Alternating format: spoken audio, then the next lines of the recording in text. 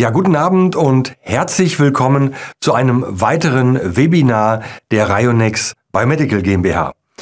Ja, heute haben wir ein ganz besonderes äh, Webinar vor uns. Sie wissen, in der Vergangenheit haben wir sehr, sehr viele Webinare durchgeführt zu den Anwendungen der Bioresonanz nach Paul Schmidt, äh, wie wir möglichst effektiv ähm, Mensch und Tier helfen können. Dabei haben wir immer wieder auch die Frage aufgeworfen, wie die Geräte funktionieren, äh, wie insbesondere auch das Dipol-Antennensystem funktioniert. Ähm, wie hängt es mit den Studien zusammen? Wir haben über In-vivo-Studien und In-vitro-Studien gesprochen. Und ähm, wir möchten heute in diesem Wissenschaftswebinar zur Bioresonanz nach Paul Schmidt all diese Themen nochmal etwas detaillierter betrachten. Auch versuchen schon mal die ersten ähm, Erklärungsmethodiken äh, zu entwickeln, wie das Dipolantennensystem, welches ja das Herz der Bioresonanzgeräte nach Paul Schmidt ist, funktioniert. Ja, und ähm, dazu werden wir einige vollkommen neue und sehr, sehr interessante, so hoffentlich für Sie, äh, Folien sehen. Äh, wir haben einige Versuche vorbereitet für Sie, ähm, die wir dann auch im Vorfeld schon ähm, aufgenommen haben. Äh, wir haben aber auch äh, einen Gast eingeladen heute Abend und äh, das freut mich ganz, ganz besonders im zweiten Teil dieses Webinars dann Herrn Professor Dr. Datsch begrüßen zu dürfen, mit äh, dem wir ja schon sehr, sehr lange äh, zusammenarbeiten, insbesondere im Bereich der In-vitro-Studien. Und er wird uns ähm, dann äh, natürlich auch erläutern, warum In-vitro-Studien so wichtig sind und und das ist das Besondere jetzt natürlich dann auch dieses Webinars. Er wird uns sozusagen die brandneue In-vitro-Studie zur Bioresonanz nach Paul Schmidt vorstellen und in welchem Bereich äh, wir hier jetzt äh, dann neue Erkenntnisse äh, gewonnen haben. Kommen wir erstmal noch zu dem, zu dem Ziel äh, der äh, Bioresonanz nach Paul Schmidt. Wir verfolgen ja mit unseren äh, Bioresonanzgeräten äh, das Ziel, mit den von den Bioresonanzgeräten erzeugten Frequenzen Eigenregulationen im Organismus von Menschen und Tieren anzuregen. Das bedeutet, das Bioresonanzgerät mit dem Dipolantennensystem innen drin produziert die Frequenzen. Diese werden dann entsprechend über Kabel und Detektoren auf den Körper appliziert. Ja, und wirken dort entsprechend stimulierend. Dieser Effekt ist aus der Natur allerbestens bekannt. Ähm, die ganze Evolution äh, ist mit diesem Effekt äh, begleitet worden, äh, und zwar insbesondere durch unser Sonnenlicht. Und das ist auch direkt die Methodik, mit der man am allerbesten und einfachsten Bioresonanz überhaupt erklären kann. Denn wissen Sie, wenn wir in die Sonne gehen, dann wird ja unsere Haut braun. Und äh, dafür gibt es einen Grund. Das ist ja nicht deshalb, weil sich die Haut erwärmt, sondern äh, das, äh, dahinter steckt natürlich ein anderer Effekt. Und zwar ist es das ultraviolette Licht der Sonne. Und äh, dieses ultraviolette Licht der Sonne ist nichts anderes als ein Frequenzbereich zwischen 750 und 1500 äh, Terahertz. Das ist sehr hoch. Und ähm, damit und immer dann, wenn diese Frequenz und nur wenn diese Frequenz in diesen Bereichen dann auf den Körper trifft, werden Regulationen ausgelöst, wie zum Beispiel ähm, die Bildung von Melanin oder die Pigmentbildung, ganz wichtig, aber auch zum Beispiel die Bildung von Vitamin D. Ja, und äh, das bedeutet, Frequenzen können in unserem Organismus Regulationen auslösen. Und jetzt stellen Sie sich bitte vor, äh, dass die äh, Bioresonanzgeräte von uns ähm, ein verschiedenartigen Frequenzbereich ähm, ausprägen können und so dass wir also verschiedene Frequenzen mit verschiedenen Frequenzbereichen auf den Organismus prägen können, um damit die ihnen eigenen Regulationen auslösen zu können. So ist äh, im Endeffekt die Idee, ähm, die Paul Schmidt ja schon im Jahre 1976 entwickelte. Ja, und äh, wir hören ja, äh, oder wir haben ja auch gerade schon das Thema Frequenz äh, äh, und auch jetzt mal das Thema Intensität und Amplitude betrachtet und wir möchten das nochmal eben in einer eigenen Folie äh, auch erläutern, damit Sie sich das besser vorstellen können. Denn es ist ja schon auch für viele, die sich in diesem Bereich äh, nicht, sage ich mal, auf der technischen Seite bewegen, doch schon sehr äh, abstrakt und äh, es ist unsere Hoffnung, hier ein bisschen Licht in dieses Dunkel zu bringen. Unter einer Frequenz äh, verstehen wir genau das, was hier auf dem Bild links äh, abgebildet ist. Das heißt also, äh, wir produzieren mit, den, äh, mit dem Dipolantennensystem Frequenzen, die wir auf den Körper prägen. Und äh, eine Frequenz ist dadurch gekennzeichnet, dass sie einen Startpunkt hat. Äh, dann geht sie zum Maximum, geht durch, den, durch die Mittellinie sozusagen wieder zurück, geht dann wieder zum ähm, Minimalpunkt und zum Ausgangspunkt zurück. Und wenn das alles sinusförmig ist, dann spricht man halt eben von einer sinusförmigen Frequenz. Und wenn diese Schwingung genau in einer Sekunde einmal durchgeführt wird, dann spricht man von einem Herz. Das heißt also, die Schwingung ist dann ein Herz. Passiert das fünfmal in der Sekunde, spricht man von fünf Hertz. Passiert das tausendmal von tausend Kilohertz. Passiert das eine Million Mal in der Sekunde, ist es ein Megahertz. Und ähm, wenn das eine Milliarde Mal in der Sekunde passiert, also es ist ja schon unvorstellbar, dann spricht man von einem Gigahertz. Ja, und äh, wir haben jetzt eben gerade sogar das Terahertz gehört. Das heißt, der Körper reagiert auf extrem hohe Frequenzen natürlich dann auch mit Regulation. Also ein ganz, ein ganz, ganz interessantes äh, System, ähm, wie es sich äh, im Endeffekt hier auch für die Biosonanz dann ausprägt. Ja, und äh, neben der Frequenz sprechen wir in der Technik halt eben dann auch von der sogenannten Amplitude. Und die Amplitude ist nichts anderes als die, die Intensität, äh, mit der eine Frequenz dann auch äh, daherkommt.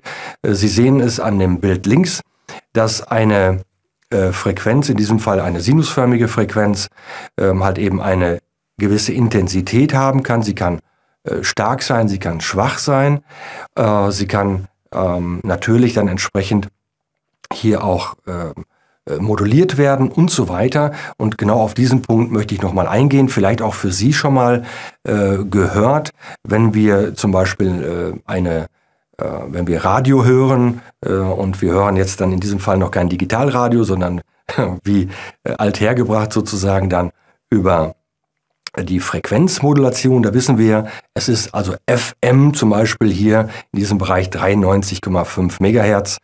Äh, das ist dann zum Beispiel WDR 2 und ähm, darauf können wir dann ja äh, entsprechend Radio hören. Und hier werden Frequenzen moduliert. Das heißt also, ähm, es werden Daten und Informationen übertragen dadurch, dass wir die Frequenz verändern. Ähm, vielleicht haben Sie es schon mal äh, auch im in ihren Einstellungen beim Radio auch gesehen, dass man also auch eine AM-Frequenz sozusagen ähm, hier wählen kann. Das ist dann eine amplitudenmodulierte äh, Frequenz. Und da verändert sich dann die Intensität und dadurch werden die Informationen übertragen. Also das einfach mal nur zum Thema äh, dieser Frequenz- und Amplitudenmodulation. Wir benutzen ja im äh, Bereich der Bioresonanz nach Paul Schmidt ähm, einen veränderlichen Parameter, das ist die Frequenz, die können wir verändern, ähm, wogegen die Amplitude äh, eingestellt ist auf, eine, auf einen äh, fixen Wert. Das hat einen ganz, ganz äh, klaren und wichtigen Grund auch der Sicherheit, denn ähm, wir möchten ja äh, mit diesem System sanft und sicher stimulieren, möchten aber auch nicht äh, den Organismus äh, überfrachten und äh, auch nicht belasten können. Und das ist für uns ein ganz, ganz wesentliches Kriterium, dass nämlich Anwender mit diesem System definitiv keinen Fehler machen können. Und deshalb ist die Frequenz einstellbar, um den entsprechenden Regulationsbereich halt eben auch wählen zu können, aber nicht äh, die Amplitude. Also ein ganz wichtiges äh, Thema äh, in der äh, auch zu der Sicherheit natürlich des, des Systems, aber auch letztendlich zur Einfachheit der, An der, der Anwendung. Denn wenn wir die Amplitude nicht ähm, wählen müssen, äh, dann macht es natürlich die Anwendung erheblich einfacher. Ja, und wie prägt sich dann eine Therapie aus? Ganz einfach. Dadurch, dass wir sagen, wir wählen genau die Frequenzspektren im Bioresonanzgerät aus, deren Bereiche und deren, ja, deren Bereiche wir im Organismus, egal ob Mensch oder Tier, dann stimulieren möchten. Ja, und wir haben ja gerade auch äh, in dem Wort Bioresonanz immer auch das Wort Resonanz enthalten. Und ähm, wie kann man sich jetzt Resonanz äh, vorstellen? Und auch dazu ähm, kann man natürlich ähm, schön etwas äh, zeigen, denn ähm, gerade äh, wenn wir uns über Resonanz unterhalten, dann fallen einem im ersten Moment natürlich äh, Stimmgabeln auch ein. Äh, und mit dem Stimmgabeln, mit den Stimmgabeln kann man wunderbar dann auch zeigen, wie dieser Resonanzeffekt ausgeprägt ist. Und wir haben mal im Vorfeld auch zu diesem Webinar die einfach mal zwei Stimmgabeln genommen und diesen Effekt dargestellt. Ja, und äh, ich möchte die Technik mal bitten, genau dieses Video jetzt mal einzuspielen. Ja, den Effekt der Resonanz kann man wunderschön an dem Beispiel von Stimmgabeln erläutern. Denn Resonanz tritt ja immer dann ein, wenn zwei Körper auf der gleichen Frequenz schwingen können, sodass also ein Körper den anderen dann anregen kann. Ja, und wir haben hier vor uns zwei Stimmgabeln, jeweils abgestimmt auf den Kammerton A. Das sind ja 440 Hertz. Und wir wollen immer auch im übertragenen Sinne sprechen, denn wir möchten ja mit dem System auch die Bioresonanz nach Paul Schmidt erklären. Das heißt also, wir werden versuchen, mit der einen Stimmgabel die andere anzuregen. Im übertragenen Sinne wiederum ist sozusagen das unser Bioresonanzgerät, welches die Frequenzen erzeugt und das der Körper, äh, der im Endeffekt diese Frequenzen aufnimmt und in Resonanz tritt und damit halt eben entsprechende Regulationen auslöst. Ja, und um das zu visualisieren, stoßen wir jetzt einfach mal die erste Stimmgabel an. Wir hören den Kammerton A und wenn ich den stoppe, hören wir den Ton hier auf der zweiten Stimmgabel weiter. Das heißt also, diese Stimmgabel war in der Lage, diese Stimmgabel anzuregen. Ich kann das gerne nochmal wiederholen. Ich stoppe. Wir hören den Ton weiter. Und damit kann man sehr schön zeigen, dass halt eben eine Stimmgabel in der Lage ist, die andere anzuregen. Im übertragenen Sinne wieder das Bioresonanzgerät auf dieser Frequenz sozusagen dann den Körper anregen kann. Was passiert denn jetzt, wenn eine Stimmgabel ähm, ins Spiel kommt, die nicht den Kammerton A mit 440 Hertz hat? Ich lege das mal zur Seite. Und wir nehmen dazu jetzt eine ähm, andere Stimmgabel auf, einem, auf einer anderen Frequenz. Diese Stimmgabel schwingt also auf 1000 Hertz. Und äh, da kann man jetzt folgenden Effekt äh, dann äh, erkennen. Also wir stoßen wieder an. So, man hört sofort, diese Stimmgabel ist gar nicht in der Lage, auf 1000 Hertz äh, zu schwingen äh, und angeregt zu werden. Das heißt also, diese Stimmgabel ist nicht in der Lage, von der ersten Stimmgabel angeregt zu werden. Jetzt wieder im übertragenen Sinne der Bioresonanz nach Paul-Schmidt. Wenn wir eine Frequenz haben, die auf den Körper trifft, die der Körper nicht benötigt, er nicht in Resonanz geht. Was bedeutet das? Dass natürlich keine Wirkung entstehen kann, klar, aber, und das ist ja die besondere Erkenntnis aus den 40 Jahren Bioresonanz nach Bord Schmidt, halt eben auch keine Nebenwirkungen auftreten. Und äh, das kann man auch anhand dieses Effektes sehr schön erläutern. Ja, vielen Dank für die Einspielung nochmal an die, an die Technik. Ja, es ist wirklich eine sehr schöne Methodik mit den Stimmgabeln Resonanz erklären zu können. Und unsere Hoffnung ist natürlich auch die, dass Sie mit diesem Erklärungsmodell natürlich auch selber arbeiten und das entsprechend weitergeben, wenn Sie danach gefragt werden. Ja, was macht im Endeffekt für uns die Faszination an der Bioresonanz aus? Und äh, die Faszination, die können wir ähm, jetzt auch mal damit darstellen, dass ähm, ja auch sehr, sehr bekannte Wissenschaftler sich in diesen, in diesen Bereichen bewegt haben und sozusagen auch Wegbegleiter, aber auch Wegbereiter insbesondere äh, der Bioresonanz nach Bolschmidt waren. Und wenn wir hier mal auf einen ganz bekannten Wissenschaftler, nämlich Max Planck, zurückkommen, dann war er es ja, der durch seine Arbeiten ja auch den Satz prägte, letztendlich ist jede Materie Schwingung.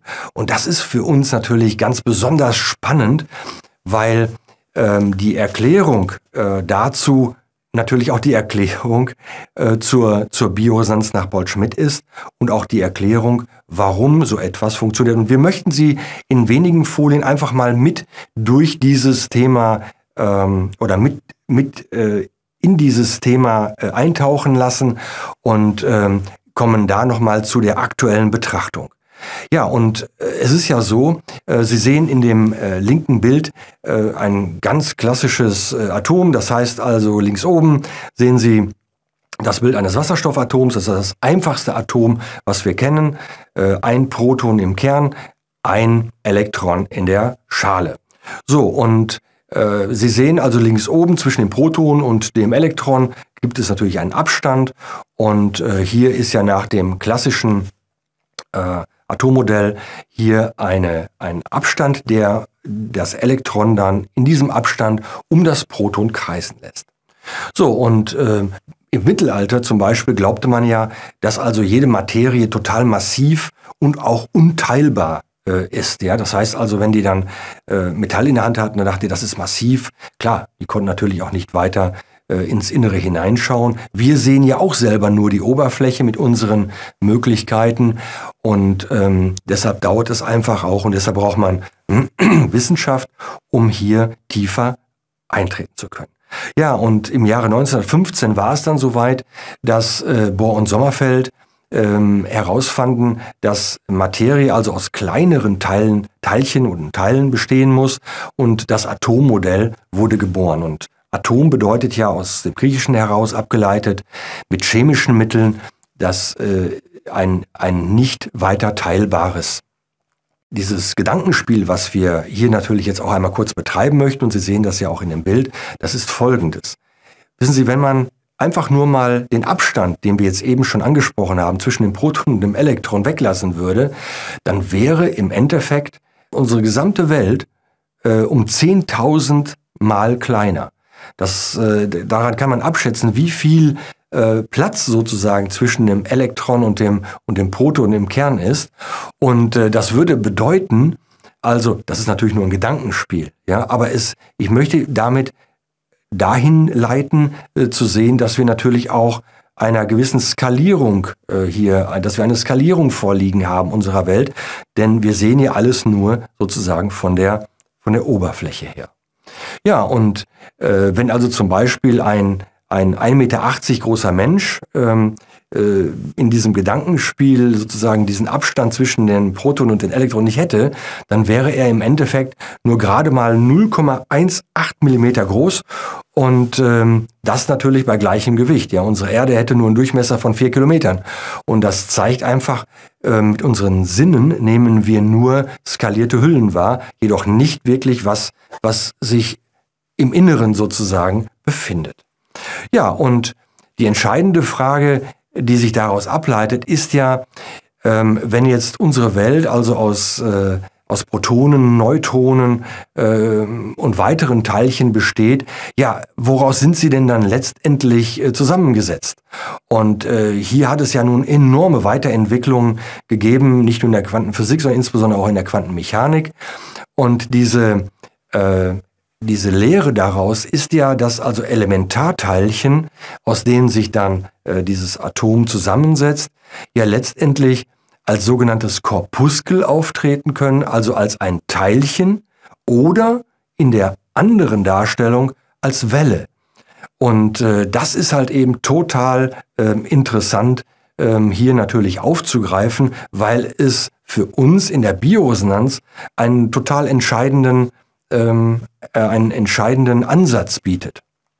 Denn ähm, zudem äh, ist es ja so, dass äh, die weitere wissenschaftliche Ausarbeitung dann auch noch zeigte, natürlich, dass zum Beispiel jetzt durch Heisenberg und äh, Louis Victor de Broglie, die zeigten, dass also jede Materie Wellencharakter und einen Spin, das heißt eine Drehrichtung hat. Und äh, damit wird jetzt klar, dass äh, unsere Welt letztendlich aus Schwingungen aufgebaut ist.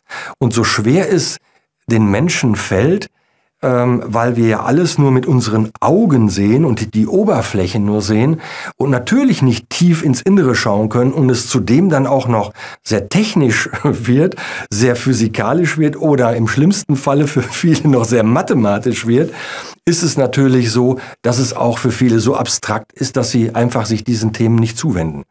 Und es damit einfach nur einem wirklich auch kleinen Teil, äh, ich sag mal, der Gesamtbevölkerung dann zugänglich äh, werden kann. Nichtsdestotrotz ist es so, dass äh, gerade auch die, die Quantenmechanik ähm, dazu einen gewaltigen Beitrag liefert, unser, unsere Welt und auch letztendlich uns dann natürlich viel, viel besser verstehen zu können. Ja, und der Ansatz der Biosans nach Bolt-Schmidt ist natürlich der, dass wenn alles und jedes letztendlich aus Schwingungen besteht, ja, so wie es Max äh, Planck gesagt hat, und diese auch in Wechselwirkung miteinander stehen, dann ist natürlich für uns seitens der Biosans nach Paul Schmidt auch klar, dass wir mit Frequenzspektren einwirken können und sozusagen auch, hm, ich sag mal, Reparaturen im Sinne von Therapien dann durchführen können. So ist da der Ansatz. Und wenn ich noch kurz hinzufügen darf, gerade sind ja die Nobelpreise vergeben worden, in diesem Falle auch äh, in der Physik im Bereich des der, der Quantenmechanik und im Bereich der Quantenverschränkung. Und äh, das alleine wirft ja Fragen auf, die äh, noch in ganz, ganz andere Richtungen gehen können, so dass man auf einmal feststellt, dass ähm, hier ähm, Teilchen miteinander verbunden sind und auf große Distanz auf einmal tatsächlich sich sehr, sehr ähnlich auf einmal verhalten können. Und das in einer Geschwindigkeit, die im Moment die Physik noch vor totale Rätsel stellt, weil es ja nach aktuellem Stand sogar äh, schneller als das Licht sein könnte. Und das wirft so viele Fragen auf ähm, und man stellt zum Schluss fest, ähm, wie halt eben auch äh, immer gesagt wird, mit dem Wissen kommt der Zweifel und je mehr man weiß, äh, stellt man fest, je mehr weiß man dann eigentlich nicht und je spannender wird dieses ganze, ganze Thema. Ja, und ähm, damit äh, mal ebenso auch als Einleitung äh, gedacht, wie wir ähm, hiermit umgehen.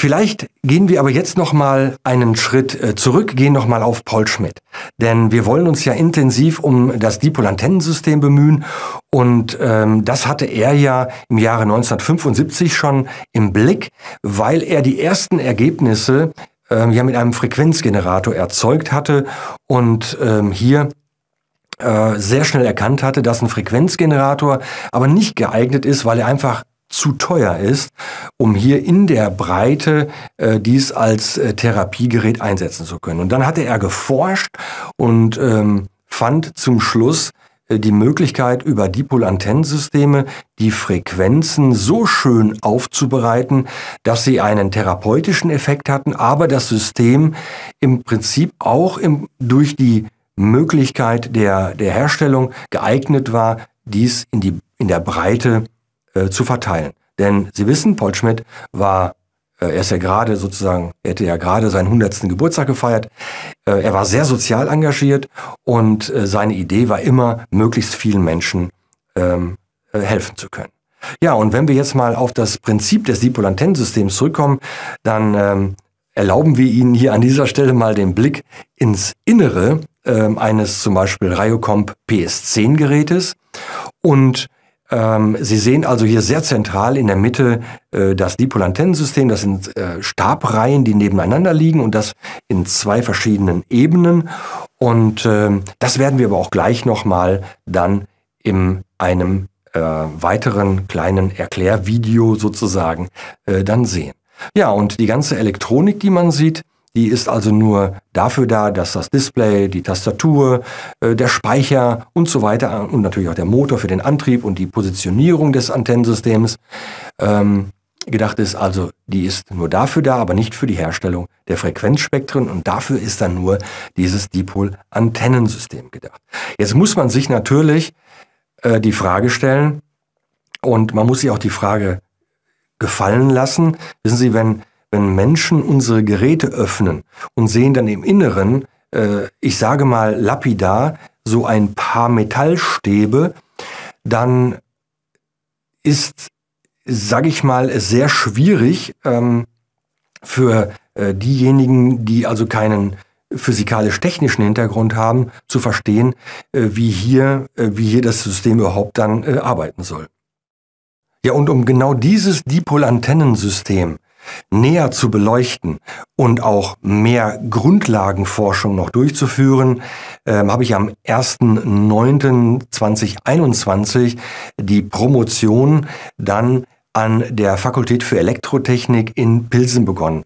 Und wir haben dort ein Team gefunden, welches äh, mit großem Interesse insgesamt daran mitarbeitet, die Grundlagenforschung zu diesem Dipolantennensystem weiter voranzubringen. Und mein konkretes Ziel mit der Promotion und dann, so hoffe ich, dann der erfolgten Dissertation ist dann ähm, sowohl das Dipolantennensystem äh, physikalisch-mathematisch erklären zu können, als aber auch natürlich dann durch die gewonnenen Erkenntnisse, ähm, zum Beispiel durch äh, Simulationsverfahren, äh, eine Leistungssteigerung und auch nochmal eventuell eine Optimierung herbeizuführen. Und das wird natürlich dann, oder das, damit schließen wir dann den Kreis eines eines äh, ein, der Erklärbarkeit auch der der Bioresonanz nach Paul Schmidt. Denn auf der einen Seite zu sagen, wir haben hervorragende Studien und, ähm, und Ergebnisse, ist natürlich ganz wichtig in der Darstellung auch zum Beispiel zur Erlangung ähm, der eines Medizinproduktestatus, weil da muss man ja die Leistung und auch die Sicherheit beweisen. Aber was natürlich auch ganz besonders wichtig ist, das ist, dass man in der Grundlagenforschung erklären kann, wie dieses System dann auch auf der, der technischen Seite ähm, und auf der physikalischen Seite arbeitet. Ja, äh, der Ablauf äh, übrigens ist so, ähm, in einem ersten Step werden sechs sogenannte Individual Study Plans äh, bearbeitet, die alle aber auch mit dem Dipolantennensystem zu tun haben. Äh, zum Beispiel ähm, äh, arbeite ich jetzt gerade aktuell an der Simulation dieses äh, Dipolantennensystems und äh, hoffe dann da in den nächsten Monaten auch wiederum ähm, schon wieder weitere Erkenntnisse erlangen zu können. Aber alleine das, was jetzt in der Kürze der Zeit schon erarbeitet worden ist, ist total klasse und ähm, wollen wir auch dann jetzt in den nächsten zwei Folien nochmal vorstellen. Ja, also die, ähm, die, die Promotion wird dann so weitergehen, dass wenn diese Individual, Individual Study Plans durchgearbeitet sind, es dann eine erste sogenannte kleine Doktorarbeit gibt, die dann verteidigt werden muss. Und äh, das qualifiziert dann für die große Doktorarbeit. Ähm, das muss sich paaren mit internationalen Vorträgen und auch internationalen Veröffentlichungen. Und ähm, eine davon werden wir auch heute schon vorstellen können. Also, das hat einen richtigen Schwung gegeben in der Erklärbarkeit auch der Biosens nach Botschmidt. Jetzt kommen wir aber nochmal zum Dipolantennensystem zurück und ähm, ich hoffe, dass Sie dem äh, jetzt auch äh, gut folgen können. Äh, wir haben hier also die Funktionsweise einer Dipolantenne vor uns und Sie sehen ja, äh, wenn Sie sich jetzt an das Bild erinnern, auch mit dem PS10, das waren ja also Metallstäbe, die in einer entsprechenden Anordnung ähm, hier äh, angebracht worden sind und sich dann durch einen Motor drehen ließen. So, jetzt haben wir mal einen Stab herausgepickt und den sehen Sie links oben in dem Bild.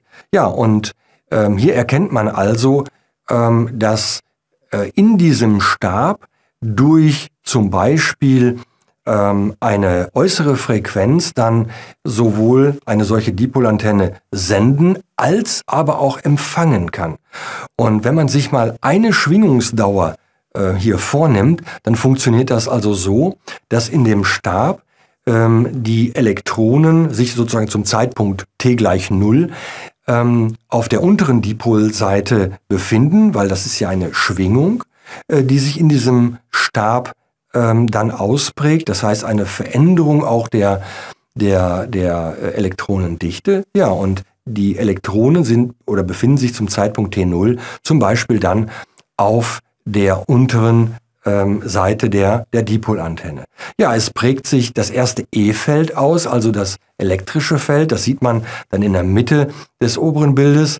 Und ähm, da keine Bewegung äh, der Elektronen vorhanden ist, gibt es auch kein magnetisches Feld. Deshalb ist I gleich Null und das magnetische Feld ist auch Null. So, und jetzt, ähm, wenn wir eine, ein Viertel der Schwingungsdauer mal weitergehen, dann wandern die Elektronen jetzt, weil das ist ja ein periodisches äh, System, um eine solche Frequenz auszuprägen, wieder äh, weg von der unteren Dipol, äh, Dipolseite äh, zur oberen. Das heißt also, in diesem Moment trennt sich das ähm, elektrische Feld sozusagen von der Dipolantenne. Äh, man sieht das sehr schön in dem mittleren Bild. Und ähm, rechts, aufgrund dessen, dass halt eben die Elektronen sich bewegen, äh, prägt sich ein Magnetfeld aus.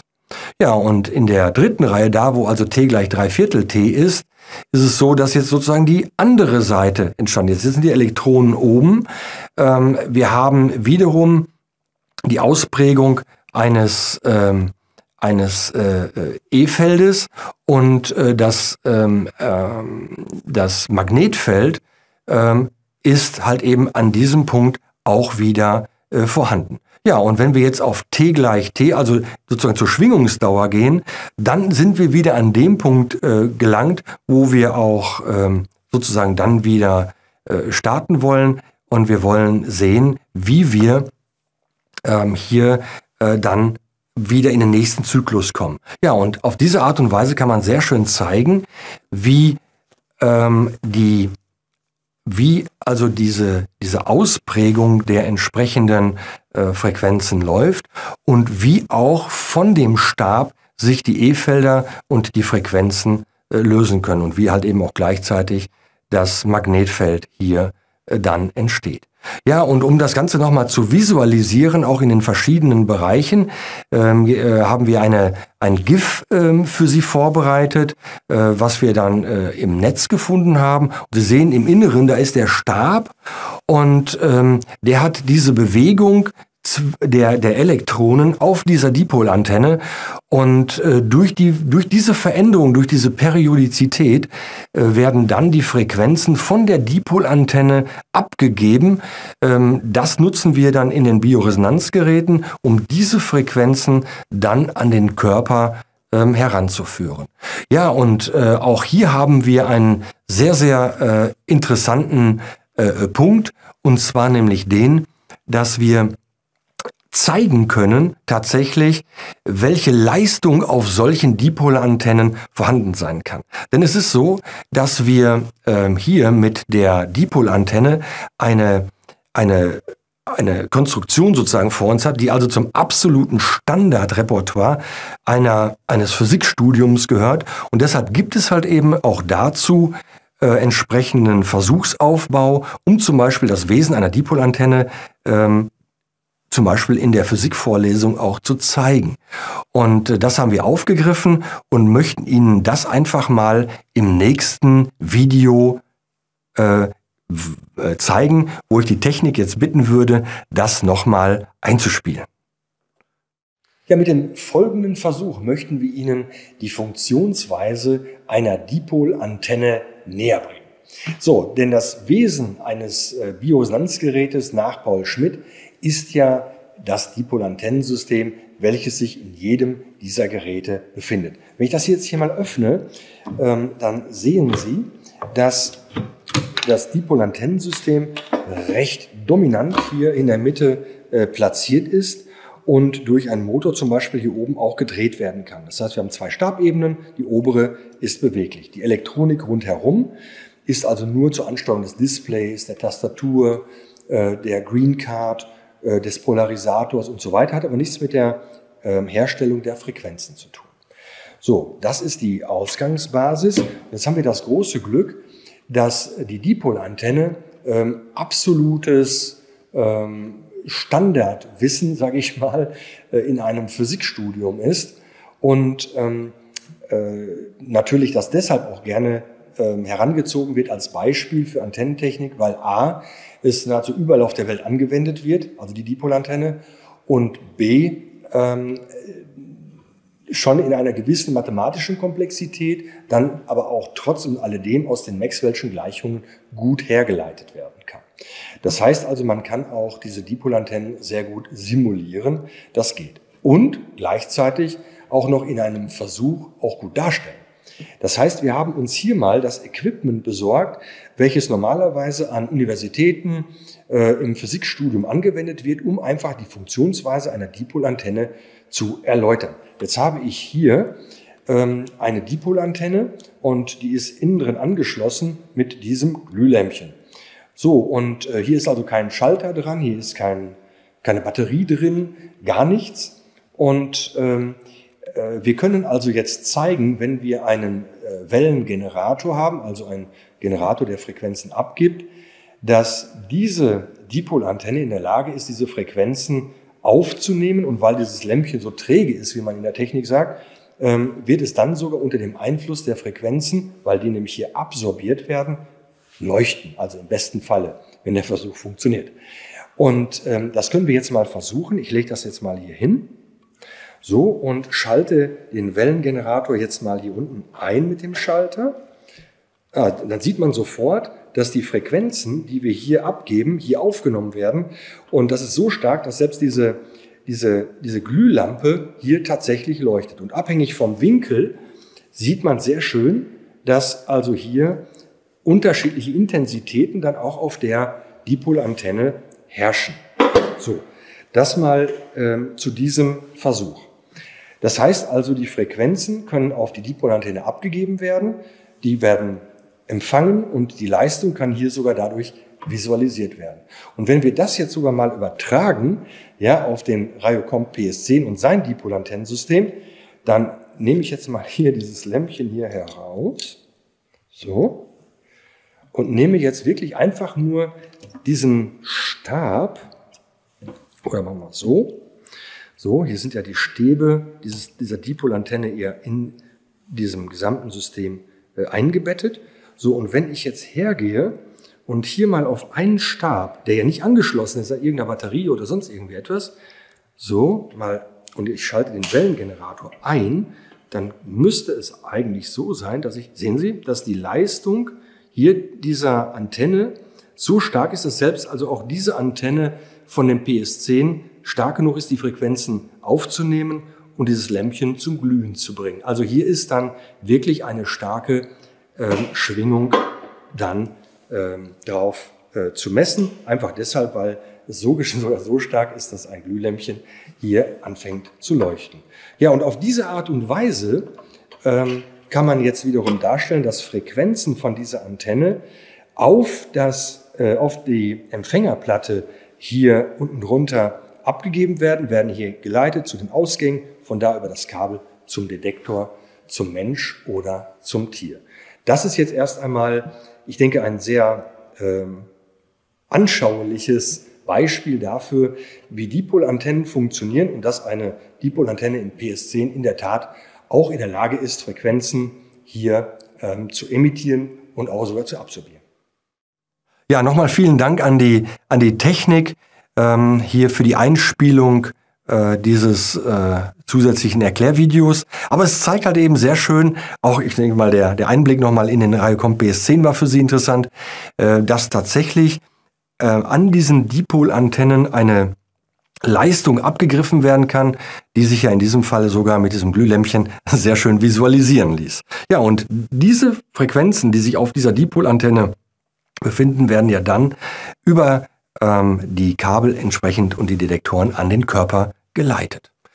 Ja, so viel zu dem Thema. Ganz wichtig und damit möchten wir natürlich auch jetzt schon so ein bisschen an äh, unseren äh, Gast äh, heranleiten. Das ist das Thema Studien und das gehört natürlich auch mit zu der wissenschaftlichen Betrachtung äh, eines äh, Systems. Wir haben sehr früh schon damit begonnen, ähm, damals mit dem Herrn äh, Dr. Breyer, der also die in den Geräten, die in den damals befindlichen Geräten, äh, befindlichen Therapieprogramme äh, hier in die Anwendung bekommen hat. Äh, über 500 Patienten, die da untersucht worden sind, mit ganz ähm, äh, interessanten und wirklich äh, sehr zum Teil auch spektakulären Ergebnissen und was uns natürlich auch motiviert hat, in diesem Thema weiterzumachen. Dann kam im Jahre 2011 die erste zellbiologische Studie vom Fraunhofer Institut äh, dazu. Das war für uns insofern ganz wichtig, weil man dann auch auf zellbiologischer Ebene zum ersten Mal zeigen konnte, wie effektiv das Dipolantensystem und die, die Bioresonanz nach Paul-Schmidt insgesamt wirkt. Sie zeigte aber auch, dass sehr wohl eine Wirkung auf zellulärer Ebene passiert, aber keine Nebenwirkung sozusagen auf die Zellen, äh, auf den Zellen stattfindet. Eine ganz wichtige Erkenntnis. Dann im Jahre 2014 dass äh, der, die erste In-vitro-Studie mit äh, Herrn Professor Dr. Darch ähm, von seinem Darch Scientific Institute. Ja, und äh, dazu werden wir gleich noch ein bisschen was hören, deshalb springe ich hier noch mal ein bisschen drüber.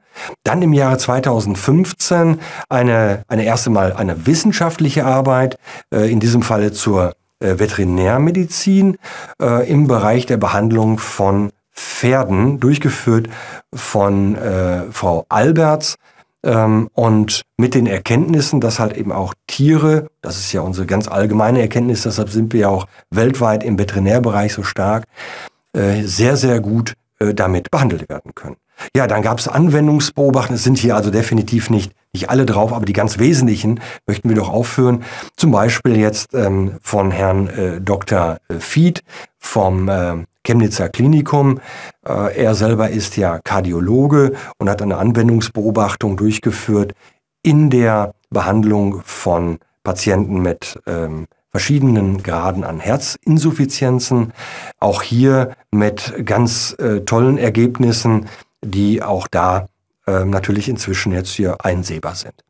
Ja, und dann die absolute Krönung natürlich, äh, die RHWS-Studie, die wir durchgeführt haben, eine im Prinzip eine äh, Studie, die ganz wichtig war, um den Status als Medizinproduktehersteller äh, hier tatsächlich auch wahren können. Denn man muss ja dafür eine Studie haben, die die Sicherheit, aber insbesondere natürlich die Effektivität in der Behandlung auch darstellt. Deshalb wurde ja die doppelblind randomisierte Studie durchgeführt und man sieht auch hier schon wieder ähm, mit den Erkenntnissen, die wir jetzt hatten, ähm, weil es ja eine klinisch prospektiv, doppelblind randomisierte, placebo-kontrollierte Studie war, äh, dass wir also definitiv mit Placebos arbeiten mussten und sie war äh, doppelblind randomisiert, heißt also weder der Arzt noch der Patient wusste, mit was für einem Gerät er jetzt arbeitet oder behandelt wird.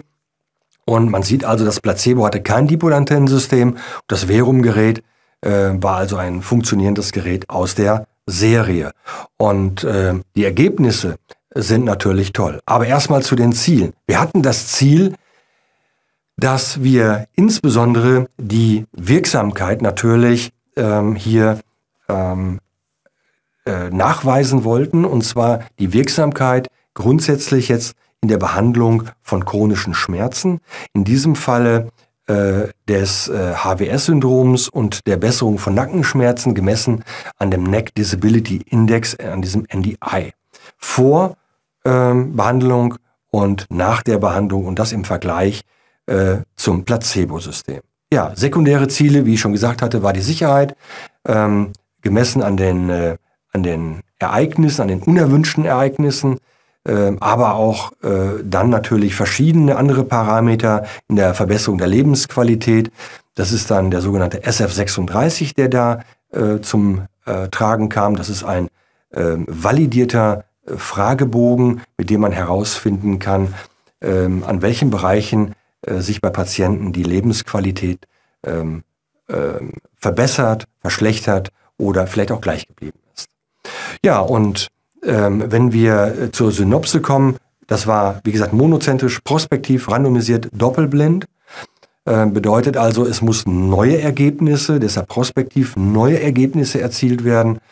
Ähm, und äh, äh, sodass man also nicht auf alte Daten zurückgreifen konnte. Es musste also komplett neu ähm, erstellt werden. Die, Indik die Indikationen waren also Patienten mit dem HWS-Syndrom. Wir haben zehn Behandlungen durchgeführt mit dem äh, Rayocom P1000 Polar 4.0 in einem Zeitraum von bis zu 70 Tagen.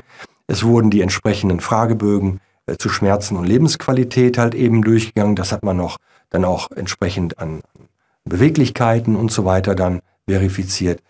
Ja, und die, randomisiert, äh, die Randomisierung erfolgte dann natürlich mit einem funktionierenden Gerät, Gerät versus einem Placebo-Gerät.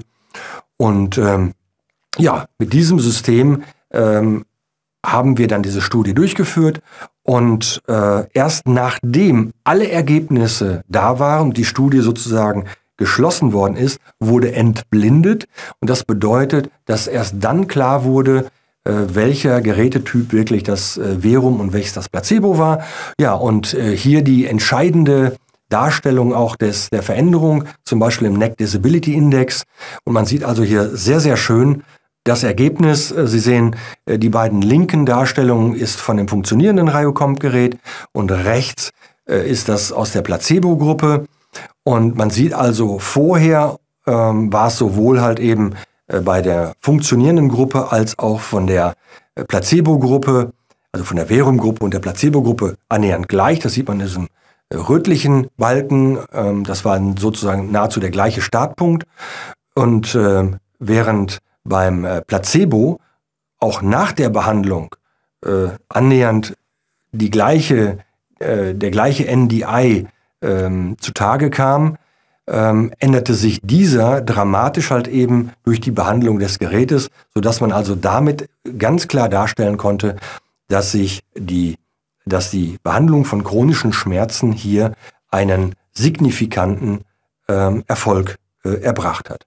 Ja, und äh, in der Zusammenfassung nochmal auch dazu, ja, es zeigte sich eine signifikante Verbesserung des NIC Disability Index in der Biosanzgruppe. Es traten keine unerwünschten Ereignisse auf, äh, gerade innerhalb der Betrachtung jetzt der Sicherheit des Systems ganz wichtig. Ja, und die körperliche und psychische Lebensqualität war nach der Therapie signifikant verbessert. Ähm, jeder, der das nochmal äh, genau nachlesen möchte, kann das tun. Es ist ja im Deutschen Register für klinische Studien veröffentlicht und äh, die Langversion sozusagen ist sogar als Buch erhältlich. Sicherlich auch interessant für die Auslage in der Praxis zum Beispiel. Ja, das zu den Studien. So, und damit ähm, kann man natürlich jetzt wunderbar auch sagen, warum Frequenzen ähm, hier so einen großen Erfolg haben. Also wir können, also wir wir, wir können es erklären, was mit dem Dipolantensystem funktioniert und wir sehen an den Studien die Ergebnisse.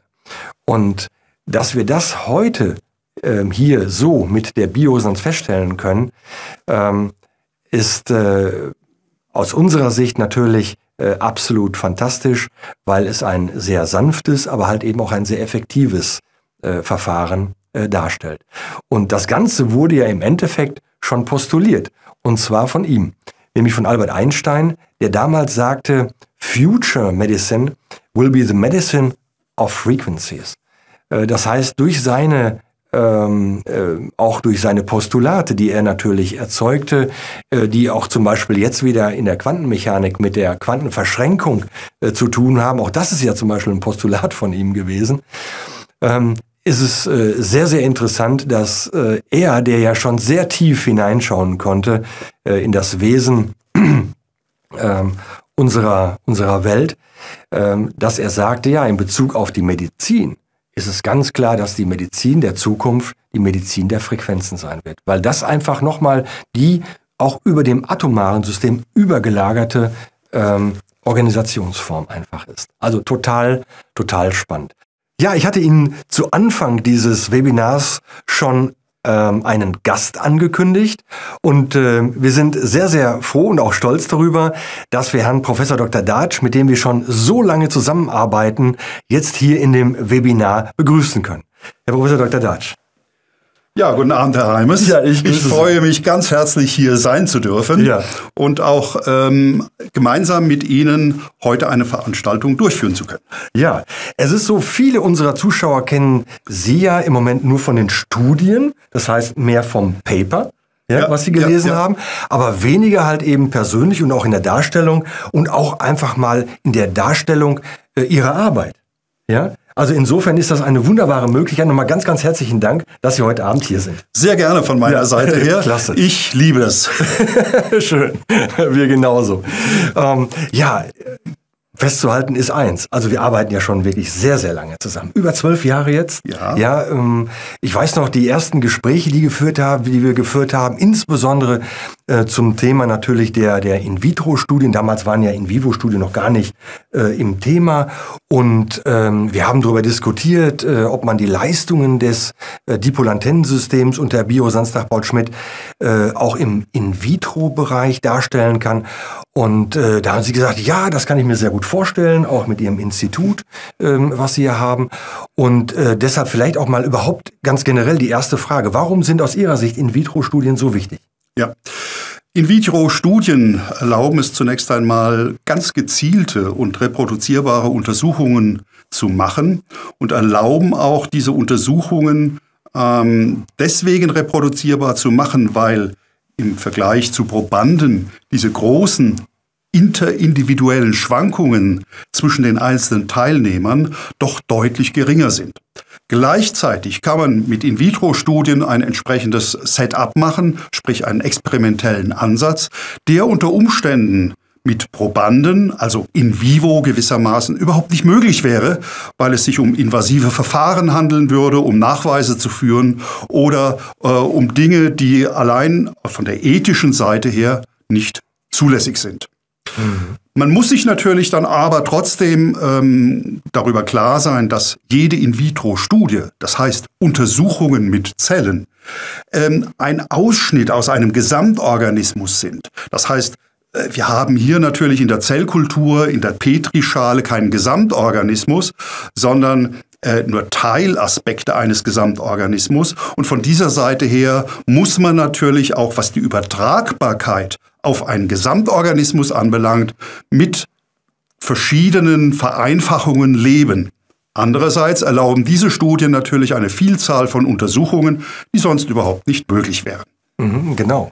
Also wenn ich das jetzt mal auf die Biosans nach Paul-Schmidt äh, übertrage und nochmal äh, in die Zeit äh, mich zurückversetze, in der wir angefangen haben, dann war es ja so, dass wir überhaupt erst einmal äh, darstellen wollten, vor zwölf Jahren, dass ein Effekt da ist. Richtig, ja, dass richtig. man einen Effekt, einen wirklich einen, einen Einfluss auf zellulärer Ebene darstellen konnte. Richtig. Das war damals ähm, so das primäre Ziel gewesen, mhm. um genau diesen Effekt zeigen zu können, darstellen zu können und auch gegebenenfalls quantifizieren zu können.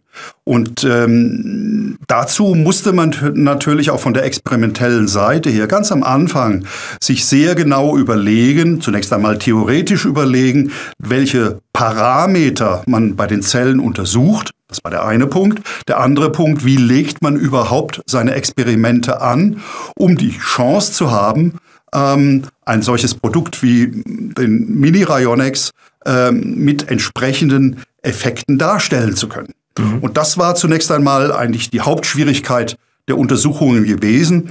Und nachdem man diese ersten Schwierigkeiten überwunden hat und hatte erste Daten mhm. generiert, positive Daten generiert, die gezeigt haben, die Wirksamkeit, die Wirkeffizienz vom Mini-Ryonex ähm, war man dann schon auf sicherem Gebiet und konnte dann gewissermaßen auch gedanklich das Ganze weiter, mh, hm, sagen wir mal, in die Breite ähm, überlegen und organisieren und sich nicht nur auf einen bestimmten Aspekt der, Zellen konzentrieren. Mhm, genau. Also wenn wir nochmal auf In-vitro-Studien und deren Wichtigkeit äh, zurückkommen wollen, äh, dann ist für uns natürlich auch festzuhalten, eine In-vitro-Studie, die sich die sich mit einer Zellkultur beschäftigt, äh, da können wir natürlich auch erstmal ganz sicher den Placebo-Effekt ausschließen. Ganz klar, denn die Zellkultur wird sich ja nicht einbilden, dass sie jetzt therapiert worden ist. Richtig, also das ist äh, ein total hilfreicher Effekt. Und was ich noch ganz toll finde äh, an In-vitro-Studien ist, dass sie überhaupt erst einmal ein Setup äh, bieten, was, sage ich mal, nicht so umfangreich ist wie eine In-vivo-Studie ja. und damit sozusagen erst einmal überhaupt auch ähm, beschreiben, ob es sich lohnt, eine In-vivo-Studie auch zu machen. Also insofern ganz wichtig, was äh, Sie da auch in Ihrem Institut leisten. Ja, das freut mich natürlich sehr zu hören. Definitiv, für uns ganz, ganz wichtig, ja, in der, in der Grundlagenarbeit. Aber wenn wir jetzt nochmal anschauen, was haben wir damals denn gemacht? Wir haben. Darf ich an der Stelle so, noch ganz kurz natürlich. etwas, ähm, äh, ein Argument bringen, was ganz, ganz wichtig ist, was in allen unseren Studien von 2014 bis heute, wie wir noch sehen werden, ähm, ganz wichtig war, ist die Tatsache, dass der gewissermaßen der Placebo-Rayonex, der keinerlei Dipolantennensystem enthält und der als entsprechende Kontrolle dient, zu dem, was der Mini-Rayonex macht, äh, sich gegenseitig nicht beeinflussen können. Das heißt, alle Untersuchungen waren in räumlich voneinander, weit voneinander getrennten Inkubatoren angelegt. Wir müssen inkubieren, sonst können die Zellen nicht wachsen. Mhm. Ähm, bestimmte Temperatur müssen wir aufrechterhalten, bestimmte äußere äh, Kulturbedingungen. Aber ganz wichtig, dass diese beiden Geräte sich nicht gegenseitig beeinflussen und dann etwas vorgaukeln, was nicht der Realität entsprechen würde. Mhm. Das ist ein Punkt, auf den muss man ganz große Sorge tragen und äh, das haben wir von Anfang an auch schon äh, sehr, sehr, rasch gemerkt, dass man hier wirklich ähm, sehr genau und sehr minutiös sein, äh, seine Experimente anlegen muss, damit eine solche gegenseitige Beeinflussung völlig ausgeschlossen wird. Mhm. Ja, begonnen hat das Ganze ja dann mit diesen Untersuchungen im Jahre 2014. Es war damals eine In-vitro-Studie zur Zellaktivität und wir haben immer, Sie haben das jetzt eben schon erwähnt, immer den Mini-Rionex genommen, mhm. ähm, weil es natürlich jetzt ein portables Gerät ist und, ähm, äh, sage ich mal, auch in einem Inkubator gut zu verarbeiten ist. Das wäre mit dem Polar 4.0 ein bisschen schwer. Bisschen schwer, ja. Also insofern, wenn Sie sich die Frage stellen, warum wir einen Mini-Rionex nehmen, das nehmen wir deshalb, weil ähm, er einfach sehr handlich ist und auch einem in, in einem Inkubator dann halt eben Platz findet verwendet. Ja? Deshalb ist ja auch der Mini-Reinex heute aus In-vitro-Sicht das am besten untersuchte Produkt, was wir haben. so ist es. Ja. ja, soweit ich das aus meiner Sicht der Dinge beurteilen kann, muss ich Ihnen recht geben. Jawohl, das genau. ist absolut korrekt. Ja. Wollen Sie dazu erzählen? Ja, würde ich gerne tun. Mhm. Ähm, ich möchte aber zunächst einmal kurz erläutern, was man darunter versteht, ein Mini-Rayonex zwischen zwei Zellkulturplatten. Ähm, das ist hier in der Abbildung, in der Aufnahme dargestellt. Wir haben oben eine 96-Loch-Platte, dann kommt der Mini-Rayorex und unten wieder eine 96-Loch-Platte. Wir haben damals untersucht, gibt es einen Unterschied zwischen beiden Seiten des Mini-Rayorex äh, bezüglich der Beeinflussung auf zellulärer Ebene. Und wir haben damals gemessen die Zellaktivität. Dazu muss man sich vorstellen, Zellaktivität ähm, dazu misst man eine enzymatische Reaktion, nämlich die sogenannten Aktivitäten der mitochondrialen Dehydrogenasen, also, äh, also ähm, den Kraftwerken der Zelle, die in der Lage sind, in Abhängigkeit von ihrer Aktivität ein, äh, einen Farbstoff, der ebenfalls in das Reaktionsgemisch zugegeben wurde, zu spalten und auf diese Art und Weise einen Farbumschlag durchzuführen. Man sieht es hier sehr schön auf der oberen Platte.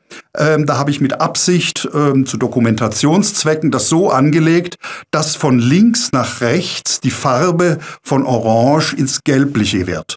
Und das sind verschiedene Zeitpunkte einer solchen Reaktion. Okay. Das heißt, wir haben Orange bis Gelb mhm. und Gelb ist die maximale Umsetzung, die maximale Enzymaktivität hier in unserem Versuch.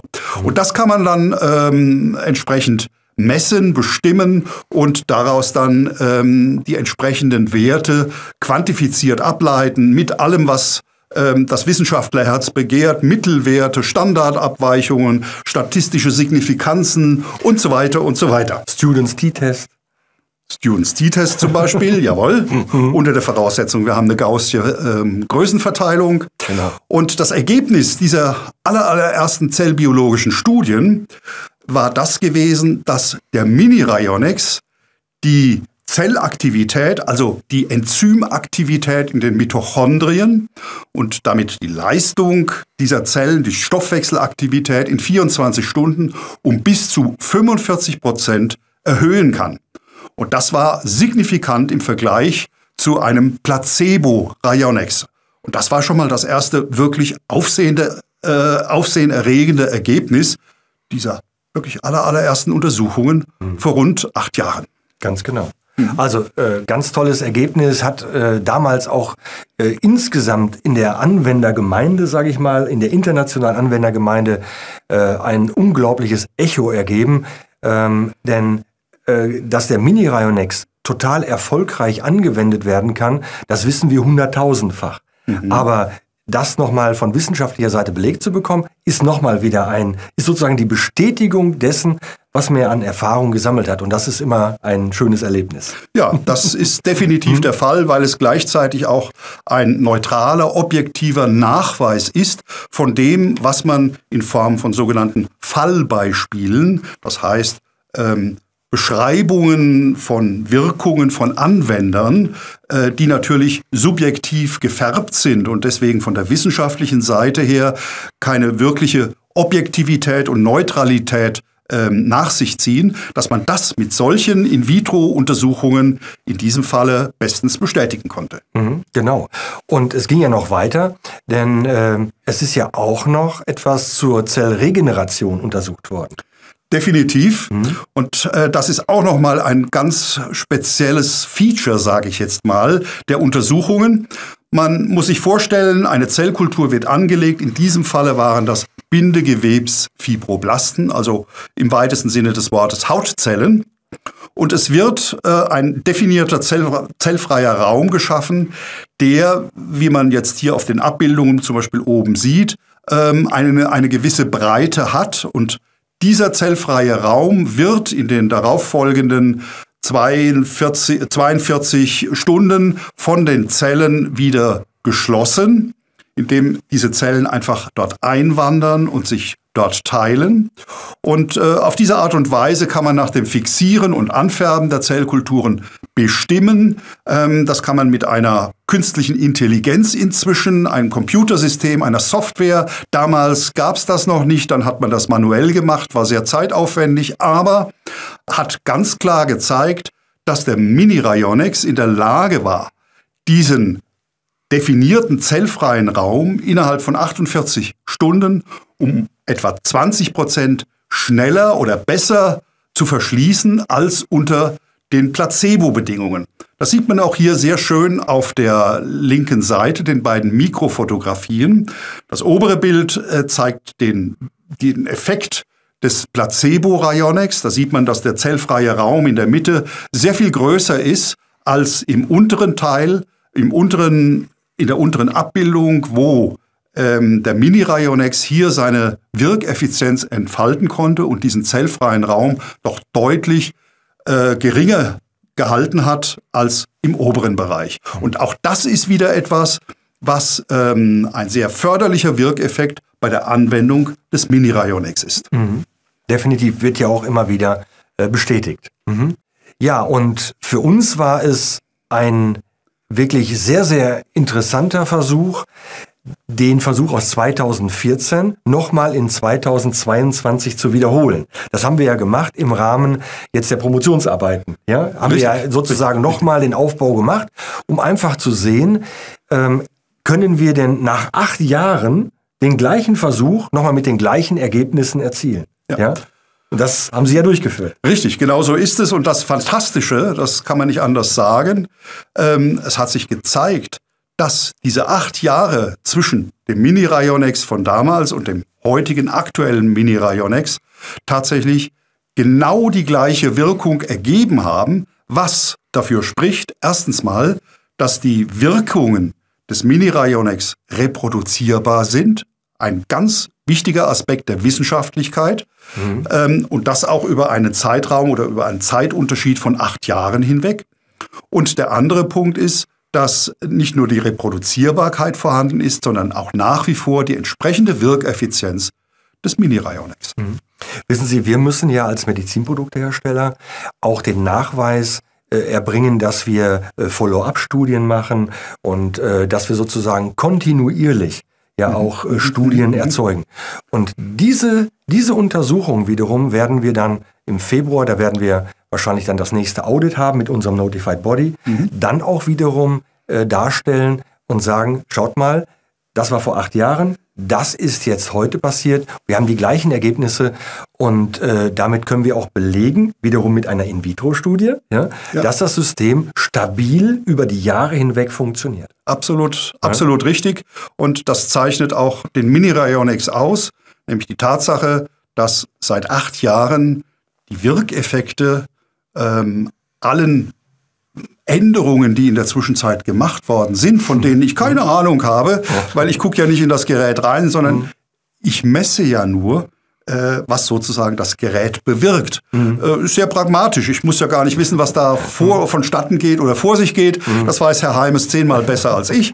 Ähm, sondern ich bin derjenige, der einfach misst und ich habe die gleichen Effekte gemessen und völlig unabhängig voneinander. Zeitunterschied acht Jahre und ich finde das fantastisch. Mhm. So, das war jetzt sozusagen die retrospektive Betrachtung, aber wir haben ja auch noch eine prospektive Betrachtung. Ja? Richtig. Also wir haben ja ähm, das zum Anlass genommen, um auch weiterzumachen. Also eine neue In-vitro-Studie anzupacken, nicht mit den Zelllinien, die wir ähm, hier schon vorgestellt haben, sondern mit neuen. Und das hat im Endeffekt zu einer, ähm, jetzt erstmal vom Ergebnis her gesehen, zu einer peer-reviewed Veröffentlichung geführt äh, in einem amerikanischen Journal. Jawohl. Ja? Mögen Sie was erzählen? Ja, da ja. erzähle ich gerne was dazu. Zunächst einmal muss man verstehen, was der Begriff peer-reviewed bedeutet. Das, ähm, ich kann hergehen und kann eine Veröffentlichung oder ein Manuskript an einen Verlag schicken, der sagt, oh ja, das ist wunderbar, das tun wir jetzt einfach veröffentlichen, das passt mhm. gut zu dem Journal XY im Oktober oder im Jahr, äh, November diesen Jahres. Das ist die, der eine Punkt. Aber peer-reviewed heißt, wir liegen auf der wissenschaftlichen Ebene. Das heißt, unabhängige Gutachter bewerten die Wertigkeit dieser, dieses eingesandten Manuskriptes, bemängeln Fehler, so welche vorhanden sind, mhm. und überprüfen, ob die ob der ganze, äh, das ganze Design, die ganzen Ergebnisse, ob die überhaupt wissenschaftlichen Bestand haben. Und hier bin ich sehr stolz darüber, auch sagen zu können, dass dieser Peer-Review-Prozess dazu geführt hat, dass nur minimalste Änderungen, nämlich einige Tippfehler, ähm, zu verändern waren. Mhm. Äh, von der wissenschaftlichen Seite her hat alles den Gutachtern sehr gut gefallen, sodass äh, es relativ problemlos dann zur Veröffentlichung in diesem Journal kam. So, jetzt haben wir die Spannung erhöht. ja, kann jetzt, man so sagen? Ja, genau. Jetzt können wir auch wirklich darüber sprechen, was denn eigentlich untersucht worden ist. Mhm. Wir sind einen ganz neuen Weg gegangen. Bisher in den alten Studien 2014, 2022 oder zu Beginn 2022 hatte ich ja schon kurz erwähnt, hatten wir die Hautfibroblasten untersucht, die Bindegewebsfibroblasten genauer gesagt, also Hautzellen. Jetzt sind wir einen weiteren Weg gegangen und haben uns mehr mit dem Körperinneren beschäftigt. Was uns interessiert hat, war die Problematik Darmwandbarriere, weil viele Menschen leiden unter dem Problem eines durchlässigen Darms, eines Reizdarms. Das wird zur Genüge ähm, aktuell in allen möglichen Zeitschriften, sogar in Werbesendungen auch entsprechend breit getreten. Und ähm, wir haben untersucht, ob der Mini-Rayonics bei kultivierten Darmepithelzellen in der Lage ist, im Vergleich zu einem Placebo-Gerät, die Darmwandbarriere, also die eigentliche Undurchlässigkeit der Darmwandbarriere für unerwünschte Substanzen, zu verbessern. Mhm. Und da hat es sich gezeigt, dass der Mini-Rayonex genau dieses bestens tun kann. Er hat nämlich signifikant, statistisch signifikant, ähm, die Darmwandbarriere um mehr als 30 Prozent verbessert. Eine derart gestärkte Darmwandbarriere war, und das war das folgende äh, Setup, war ebenfalls signifikant widerstandsfähiger gegenüber einem oxidativen Stress durch Wasserstoffperoxid. Das heißt, wir hatten hier einmal die gestärkte Darmwandbarriere durch den Mini-Ryonex und die normale Darmwandbarriere durch das Placebo-Gerät und haben verschiedene Konzentrationen Wasserstoffperoxid dazugegeben, um zu schauen, ob ein Unterschied in dieser, ähm, in dieser Dichtigkeit der Darmwandbarriere sich auch bei oxidativem Stress tatsächlich hält und bemerkbar macht. Und genau das war der Fall gewesen. Das heißt, eine solche durch den Mini-Rayonex gestärkte Darmwandbarriere ist ebenfalls widerstandsfähiger gegen einen oxidativen Stress durch Wasserstoffperoxid. Jetzt mag man sich fragen, wie kann man denn so etwas messen? Ähm, ist eigentlich, wenn man es äh, weiß, ganz einfach. Man muss Zellen in einer Kulturschale kultivieren auf einer sogenannten semipermeablen Membran. Das ist so ein kleiner Einhänger, der in die Kulturschale eingehängt wird, mit Poren von 0,4 Mikrometer Durchmesser, damit die Zellen da nicht hindurchwandern können. Dann wird oben auf die Membran werden die Zellen ausgesät, ähm, kommt auch Kulturmedium dazu und unten, sprich in der Kulturschale, in dem unteren Kompartiment gibt es ebenfalls Kulturmedium, sodass man hier äh, zwei Kompartimente hat. Das obere, da befinden sich die Zellen auf der porösen Membran und die untere, wo nochmal zusätzlich Kulturmedium ist. Diese Membran stellt gewissermaßen den Übergang zum Blut dar. Das heißt, das untere Kompartiment repräsentiert gewissermaßen unser Blut. Das obere Kompartiment repräsentiert unser Darmlumen mit dem entsprechenden Darminhalt. Jetzt lässt man diese Zellen ähm, dicht werden und kann dann mit einem entsprechenden Gerät die Leitfähigkeit zwischen dem unteren Kompartiment, also dem Blut, und dem oberen Kompartiment mit den Zellen messen. Und auf die Art und Weise bekommt man einen elektrischen Widerstand, das ist der sogenannte transepitheliale elektrische Widerstand. Und dieser verändert sich sehr stark, je dichter die Zellen ähm, zusammenschließen und je stärker die Darmwandbarriere ist. Das kann dann, wie gesagt, hier 30 Prozent ausmachen. Und das Interessante ist nicht nur die Tatsache, dass die Darmwandbarriere gestärkt wurde, sondern auch gleichzeitig die Resistenz gegenüber oxidativem Stress. Mhm. In Übereinstimmung mit diesen Beobachtungen konnten wir auch feststellen, dass die Regeneration von Darmepithelzellen durch den Mini-Rayonex im direkten Vergleich mit dem Placebo-Gerät um ebenfalls 12 Prozent gesteigert war. Das heißt, bei Traumatisierungen der äh, Darmwandbarriere kommt es hier zu einem schnelleren Verschluss und auf diese Art und Weise, also Wiederverschluss dieses offenen Raumes und auf diese Art und Weise ähm, dazu, dass weniger Schadsubstanzen aus dem Darmlumen, die normalerweise nicht in den Organismus ins Blut gelangen würden, weniger stark aufgenommen werden. Hm, total interessant. Ja, also oh. alleine die Tatsache, ähm, dass man jetzt Wasserstoffperoxid, das ist ja H2O2, ja, äh, verwendet, ähm, um sozusagen den oxidativen Stress unserer Nahrung im Darm zu simulieren, äh, finde ich also schon eine, eine klasse Idee, ähm, um einfach darzustellen, wie ähm, so, also wie zum Beispiel auch dann die Wirkung eines Mini-Rionex im Endeffekt bedeutet ja das insgesamt der Bioresonanz nach Paul Schmidt, denn wir können das ja auch mit einem Polar oder mit einem äh, PS10 darstellen, auf genau diesen, auf diesen Darmwandbarriere halt eben wirkt. Das ist, finde ich, total spannend. Ja, definitiv. Obwohl, wenn ich ehrlich bin, das ein erster Einstieg ist in diese Problematik. Man kann mhm. nämlich hergehen mhm. ähm, und ein Verdauungsmodell, was wir vor vielen Jahren schon entwickelt haben, was die Verdauung des Menschen simuliert, die verschiedenen Kompartimente, wo man hergehen kann und kann hm, die Verdauung simulieren und kann dann mit dem entsprechenden Darmsaft, so nennt sich das, ähm, der dann schließlich und endlich ähm, genauso wie unsere Dünndarmflüssigkeit ähm, aussieht, ebenfalls solche Untersuchungen machen, nachdem man verschiedene Nahrungsbestandteile beispielsweise ähm, hier verdaut hat, um zu schauen, inwieweit eine solche gestärkte Darmwandbarriere auch verbesserte äh, Eigenschaften hat gegen der Problematik einer Diffusion von Nahrungsbestandteilen nach dem Verdau. Hm. Also ähm, es lässt sich auch in vitro eine ganze Menge an hochinteressanten Sachen machen. Ähm, da kann der Wissenschaftler richtig spielen. Mhm, okay.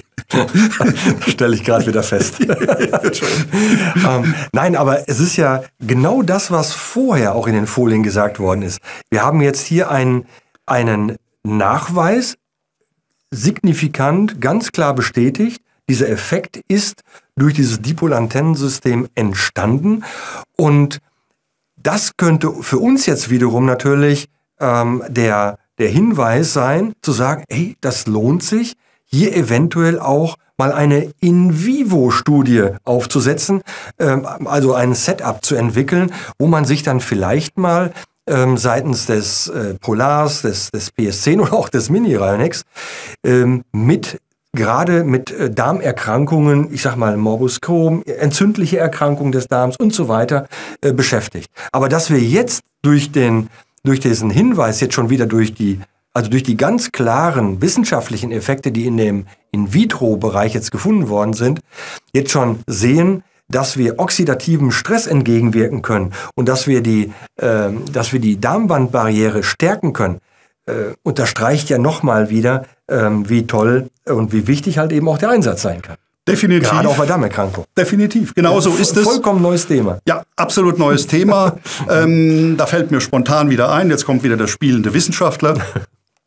äh, man kann natürlich auch untersuchen, inwieweit der, ein Mini-Rayonix einen entzündlichen Prozess in der Lage ist äh, zu reduzieren, das in Kombination mit Darmwandzellen, dann sind wir nämlich bei den chronisch entzündlichen Prozessen im Bereich der Darmwand, das, was Sie schon angesprochen haben, beispielsweise auch Morbus Crohn. Mhm. Klar. Äh, also dazu glaube ich, sollten wir oder jetzt aufbauend auch auf diesem Webinar einfach mal noch ein, ein neues Webinar machen, wo wir dann aber auch mehr, sage ich mal, so, so, so noch den medizinischen Beruf äh, mit hinzunehmen und auch genau das einfach auch nochmal erklären. Auch das könnte jetzt sehr schön sein, weil wir haben den Start ja jetzt mit diesen Untersuchungen, der In-vitro-Untersuchung äh, natürlich auch auch gefunden. Und da geht es natürlich auch nochmal um die Visualisierung und, und wie kann man so etwas dann auch darstellen. Das sollten wir dann sicherlich auch in einem weiteren Webinar nochmal noch mal aufgreifen. Ja, ja. Apropos äh, Darstellung von Grundlagenforschungsergebnissen beziehungsweise deren Visualisierung. Hier haben wir bezüglich der Darmwandbarriere Untersuchungen durchgeführt, die eine sogenannte Endpunktbestimmung darstellen. Das heißt, wir haben eine Anfangssituation und eine Endsituation, die wir beide dokumentiert haben und entsprechend miteinander verglichen haben. Jetzt besteht aber noch die Möglichkeit, das Ganze in Form eines dynamischen Prozesses zu visualisieren. Das heißt, man kann hergehen, kann beispielsweise Darmepithelzellen unter dem Mikroskop einen Zellregenerationsprozess durchführen lassen und kann das in einem Zeitrafferverfahren videomikroskopisch gewissermaßen aufzeichnen und auf diese Art und Weise einen Prozess, der normalerweise 48 Stunden dauert oder auch 24 Stunden, mhm. um einen Faktor von 3000 beschleunigen, um auf diese Art und Weise in 30 bis 40 Sekunden genau das darzustellen, was in diesen vielen Stunden passiert. Und wenn man das vergleichend ähm, einander gegenüberstellt, hat man natürlich die Möglichkeit, nicht nur Anfangs- und Endpunkt zu sehen, sondern auch, was mittendrin passiert.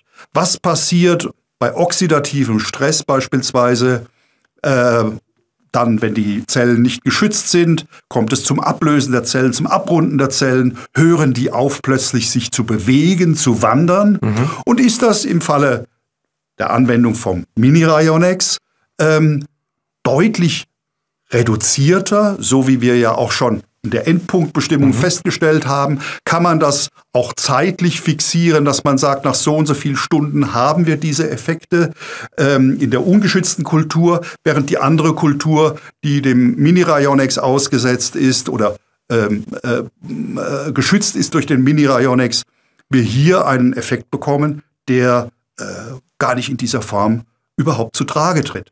Und das sind Sachen, äh, da kann man sich Wissenschaft ja tatsächlich so wie in, in einer Art Wissenschaft zum Anfassen, zum besseren Verständnis der ganzen dynamischen Prozesse ähm, könnte man hier beispielsweise anfertigen und hier durchführen und äh, ich glaube, äh, sagen zu können schon mal im Vorfeld, solche Videos, ähm, okay. die sind richtig heiß. okay, also was vollkommen klar ist, äh, man weiß ja schon, man hat einen Text vor sich, dann ist es eine, eine Sachinformation, man hat ein Bild vor sich, das ist natürlich schon viel, viel plakativer. Hat man dann aber ein Video, dann ist es natürlich die höchste Form und äh, unglaublich äh, schön zu visualisieren, wie so ein Prozess natürlich auch dynamisch abläuft. Richtig. Total klasse. Also ich höre daraus, ähm, das können wir auch sozusagen nochmal so als Add-on mhm. dieser Untersuchung äh, noch beauftragen, äh, dass wir sozusagen dann ein, ein Zeitraffer-Video über den dynamischen Verlauf bei oxidativem Stress zum Beispiel haben. Richtig. Also dann sollten wir das so machen. Das freut mich doch richtig zu hören. Also das, ja, natürlich, weil, weil das ist ja etwas, das, das, das kann ja auch jeder Therapeut äh, seinen Patienten unglaublich gut zeigen. Äh, wir können das natürlich auch äh, multimedial äh, mhm. sehr, sehr gut verwenden, um einfach zu zeigen, ähm, welche Effekte äh, die Biosanz nach Paul Schmidt natürlich dann auch hat. Und das halt eben auf wirklich wissenschaftlicher Basis. Ja.